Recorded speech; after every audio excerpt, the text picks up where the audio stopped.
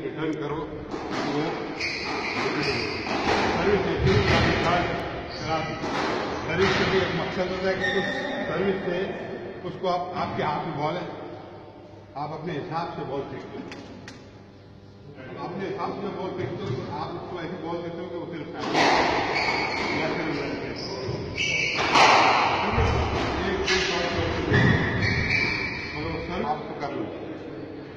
मैं आपको दीवार के साथ दूँगा ना, आप नहीं कर पाओ तो कोशिश किया करो, जब सर्विस करा रहे हो उसका भी एक मकसद है। जब आपको सर्विस मिली है सर्विस की एडवांटेज दो आप सर्विस ऐसे करा, जैसे आपने दीवार के साथ कराई, उससे छोड़ी तो वो छोटी इतनी होती है कि वो उससे सिर्फ़ साइड होती है। फिर साइड पे आपको अटैकिंग के चांसेस होते हैं। आप जाके ड्रॉप खेलते हो, कुछ भी कर सकते हो, वो आपके सामने होता है। मगर सर्विस का भी मकसद है। ये नहीं कि सर्विस गई मैं अपने लैंड पर हेड मार के चला गया नॉट लाइक दैट इसका भी अवेल करे पर ये अपॉर्चुनिटी मिलती है अवेल करनी चाहिए। क्योंकि आपकी कमांडिंग पोजिशन है।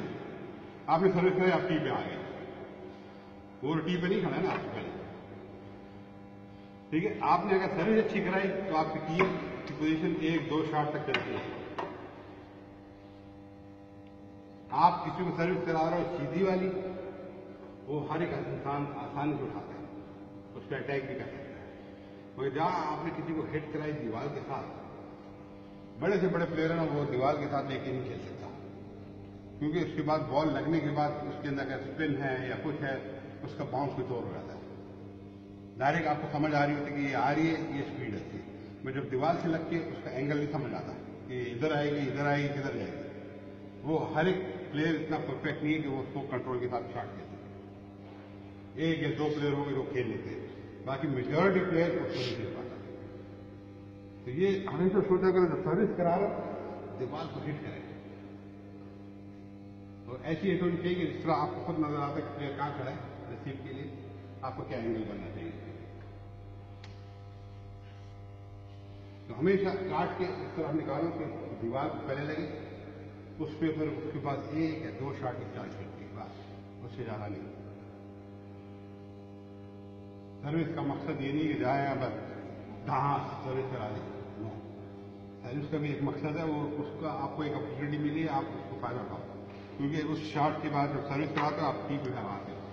अगर आपकी सर्विस अच्छी है तो आप टी पे ज़्यादा दे सर्विस अच्छी नहीं है तो उस, उसी शॉट के बाद आप फंसे में हो ये।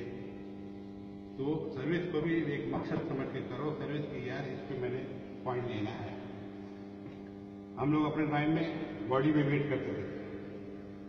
आपने भी देखो कमर भी करता था। ये ये, क्या होता था? वो साइकोलॉजिकली आप सर्विस को हिलाते थे। वो कंट्रोल था, या आटता था वो कंट्रोल निकल जाता था। या तो बॉल पीछे बैठ जाती थी, या वो उठाता भी था तो बीच में ले लेता ये सारी होती चीज़ें साइकोलॉजिकली ये आप हमेशा किया सर्विस को जितना